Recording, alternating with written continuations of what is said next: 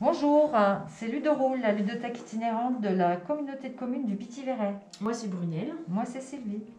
Aujourd'hui on va vous présenter une partie de la gamme de Smart Games que nous avons à la ludothèque. Donc il y en a à peu près pour tous les âges. Donc tous des jeux euh, style casse-tête à faire tout seul. Bon on peut se faire aider, hein, mais c'est des petits jeux qui se jouent euh, seuls en principe.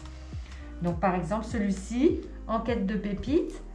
Euh, vous avez d'un côté un petit livret avec tous les challenges qui sont proposés, qui sont organisés par niveau, du plus simple au plus compliqué. Et donc il faut euh, faire en sorte que le petit euh, mineur qui se trouve ici euh, récupère ses pépites. Donc, il y a différentes galeries, des échelles. Le jeu est aimanté, donc on ne peut pas perdre de pièces. Pour les plus jeunes, nous avons version corail, où là, nous sommes plongés dans un univers aquatique. Toujours sur le même principe, les petits défis. Ici, il s'agit de placer les coraux afin de laisser apparaître seulement les poissons demandés sur la fiche challenge.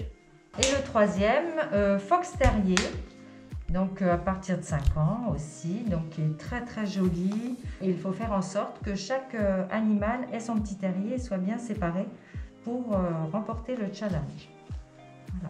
Nous possédons également à la ludothèque les poulons la bujotte junior. Nous avons à l'intérieur de la boîte des cartes défis, ici.